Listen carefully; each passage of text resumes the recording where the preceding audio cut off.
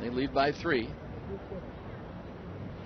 And a shot right field hit hard. It is gone. All of a sudden, it's four to three.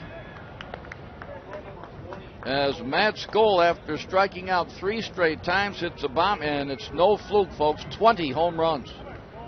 He's among the league leaders. Well, now we got a close one, a four to three game. Yeah, that was a no doubter right there. Got every bit of that one, and even though it wasn't real high, it had enough uh, enough push to get out of here before it started to drop down. And here comes uh, Jason Martins, but the good news is the Mud Hens still lead it, four to three. Both teams now with six hits on the board.